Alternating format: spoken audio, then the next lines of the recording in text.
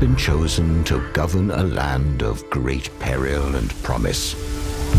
It has suffered long from the scourge of banditry, but there is another threat, an illegitimate baron who claims the northern territories as his own.